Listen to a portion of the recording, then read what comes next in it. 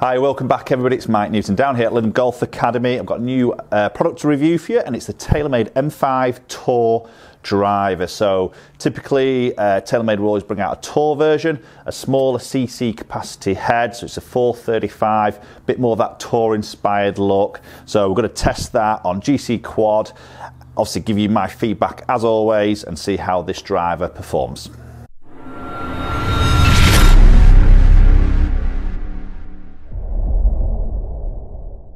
Okay, so M5 Tour, so 435cc, so the standard M5 and M6 are 460. So typically we're seeing a more compact head behind the golf ball. Very much noticeable as I put that down from the face to the back edge is much more compact as what you would see in, as I say, the M5 or M6.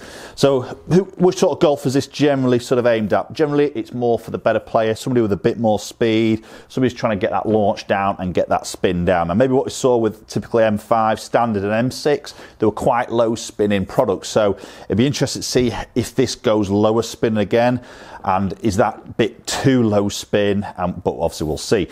I'm guessing there might be a little bit of level of forgiveness we might sort of just sacrifice with the head obviously size just changing. But sitting down that barrel golf ball, I'm a big fan of how the M5, M6 look with that matte black uh, carbon composite sort of look now, slim in the silver section, that red sort of trim around the back edge I think looks stunning. And this sits really square. So I think if any golfers out there who hate to see the club face point a little bit close, I'm one of them this um, definitely doesn't. It sits very, very sort of neutral. Got this in a 9 degree. I've got this set as a 9 degree standard in the lie and the face angle. Obviously, we've got some dialing to do with the loft sleeve as well as the sort of weights on the bottom. Let's get this first one hit. Does sit lovely behind the golf ball.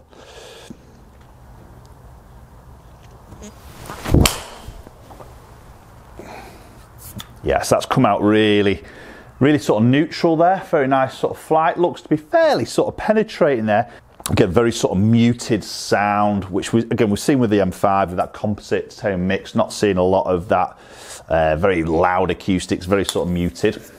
Okay, so now I've got I've got this fitted um, in one of the stock options. So they offer two stock op options in the Tour uh, M5, which is the Tensei Orange, and then this HZRDUS Smoke. And I've got the HZRDUS Smoke in here, which is a 70 gram in a 6.5 flex, which is extra stiff. As I say, just got that standard uh, sort of length here. Um, I, I do like the look of that club behind the golf ball. It does look a bit harder to hit because of that small compact head. So instantly to me, it feels like, right, I need to make sure I get the middle of the club face here. But I do like the shaping of the head. It's very sort of um, that sort of rounded, uh, traditional looking shape in a way.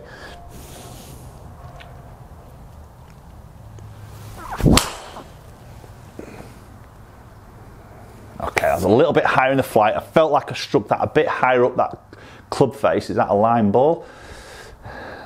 Ooh, not bad. And that's got out there. That's got out there. Sort of 285 carry running out at 308. So good hit on that particular shot. Definitely a little bit higher up that club club face.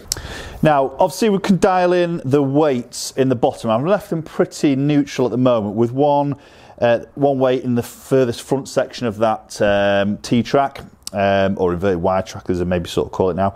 And then the other one is more to the back of that middle track. Um, now, also, you can put options of putting both weights right in the back in that furthest sort of heel and toe section, which will make the club in its more forgiving option in terms of creating a higher MOI, less twisting, and maybe a little bit more forgiving. That might be a popular option. With it being more of a low spin characteristics ahead, um, you might not need those weights throwing forward. Because I just think if you put it in its most powerful position um, in terms, or its, its mode in a way, in terms of putting both those weights in that front section, then with I think the size of the head and both weights forward, if you're going to miss the middle of the golf club, I think you're going to get punished pretty severely, I would sort of say. So I haven't got it in its most forgiving, but having said that, I haven't got it in its most uh, unforgiving setting.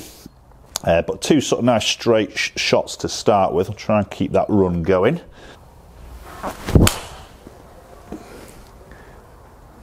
Again, that's a good connection. I've just leaked that up the right hand side there.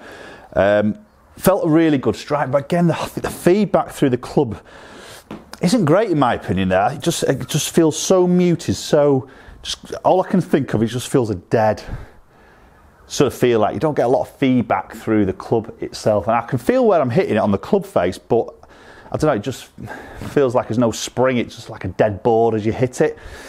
Um, again, I think the acoustics will sort of give a very much um, a feel for that type of uh, strike.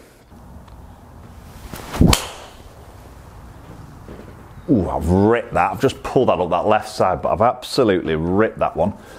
That felt much, much better there. That's 304, but I have hit that up that left hand side. That's spun at 1900 on its spin, just overturn that a bit up the left. Felt really good that one to be fair. That one felt much better. I think it's a difference there. I've struck that one a little bit lower in the club face. The other's been a little bit near that top edge, which does tend to give you that very sort of dead feel as you're striking it. Um, which I think is what's maybe just give me that little bit of feedback. Really, that was a little bit lower. It felt like it was a little bit lower in the club face. All right, I've just turned that up the left side, but the feel of that was much much better than those first couple. Okay, so what I'm just going to do uh, in this next ball here, I'm going to move both those weights in that furthest forward uh, position. So basically putting it in its strongest uh, sort of mode in a way. Um, so with the 435cc, it's typically moving the CG further forward than the traditional M5 at 460cc. I'm now moving both weights in that furthest forward position. So again, pushing centre of gravity as further forward as it possibly can. So should, in theory, slightly lower in the launch, and a slightly less spin.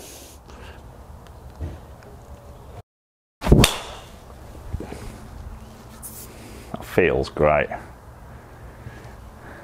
Still has that little element of that sort of slightly dead feel, and that looks to be a pretty big ball. That's spun at 2200. 307 yards, so looked to be slightly more penetrating. Didn't really see a massive drop on that ball speed. Again, I think, uh, sorry, that spin number, I think um, obviously, the, the strike location can change that spin, as we all, all sort of know, but definitely a little bit more penetrating on that flight uh, that I physically sort of saw. Okay, so we'll get one more hit and we'll check some numbers.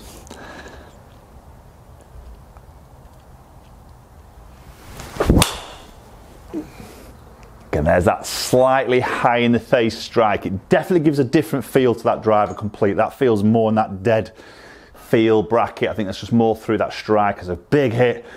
315, that's spun at 1800, carrying at 288 through the air. Again, I think that's more that strike that's pulling that spin down, probably more so than the, really the weight sort of going forward. But let's look at those numbers a little bit more detail and see how M5 Tour Driver is working. Okay, so let's look at some numbers and see how M5 Driver in the Tour is performing. So averaging Ball speed at 163.4. You can see peaking there at 165. That's when I move that weight forward. I got a really good strike on that one. Um, so just peaked that up a little bit. But having said that, I did get a 165 on that first shot hit there. Also, averaging launch at 10.5. See that launch just fluctuates as I hit it slightly higher in that club face we tend to see that ball uh, just launch a little bit higher. Again, that's through more my strike than um, changing weights really than anything. Um, averaging the spin at 2200, which is good, so that's a good number for me. And the last couple of hit, which is the top two rows there, was when I moved the weight more forward. So I've got a 2270 and an 1870 there. Again, you know, probably a little bit more my strikes. Again, I got around 22s with that weights in that other position and also a 19 there. So it hasn't really changed massively in terms of moving that weight in that forward section. Um, I would probably personally would like to maybe see the two weights maybe more in the back position. Might up the spin a little bit, but I don't think it'll do too much because of the 435cc in the head and how the head is all creating a little bit more of that low sort of spin characteristics. Uh, number there averaging at uh, 281 through the air and averaging my total distance around that 305 mark. So some some good numbers there. Um, I'm quite pleased with how that's sort of spinning. Again, the feel aspect is another thing. We'll talk about that in a minute, but some fairly decent numbers there from the M5 Tour. Okay, so there we go. There's TaylorMade M5 Tour. So I think it's quite a niche club. Um, not many golfers will probably go into this. It's probably more going to be those stronger players who trying to who've maybe got quite a lot of club head speed, looking for that more piercing, trying to lower that, that spin a little bit more, and probably the golfer who really enjoys that more compact look. I think that's probably the biggest thing that will draw a golfer into this particular uh, drive in terms of the tour. Is sometimes you know these um, modern ones at 460, they, sometimes they look pretty big, don't they, from that front to the back. So the tour definitely look, looks more compact. So any golfer that would like that compact and tends to be what I find through golfers that maybe have, have, have played a long time and they always remember those older drivers that were very sort of compact and then maybe just struggled a little bit to take or, or, to move into the more modern product, which at the 460 is sometimes quite big into on the end of that club, and uh, a few guys sort of relate to a bit of a wok on the end of a stick in a way, and some look much obviously bigger than others. So I think that's probably where the most golfers will go to tour would be just because of the look of it and the shaping of that head. Let me know your thoughts, guys. M5 Tour, is that something that you might sort of go and try? Um, as a feel, it, it, it, wasn't the most responsive. Having said that, when I cut it high in that face, it did feel quite dead to me, but uh, the numbers were still really good. Speed was pretty decent there, getting it out there, so it's more of a feel aspect, which again is very different from person to person. So, as my message is always to you, go out there and test yourselves and make sure you get fitted for them. Okay, thanks very much for watching, guys. Always appreciate watching the videos. Always, if you enjoy the video and haven't subscribed, then I'd love you to do so. So please hit that subscribe button then you won't miss another video going forward. If you also ring that bell icon, then you'll get a notification as soon as a video lands on my channel. You'll get a pinged and you'll be the one of the very first ones to watch it. Hook up on my social media platforms, both Instagram and Twitter, and both handles there are at MN Golf Coach. And hopefully, we'll catch up you all very soon.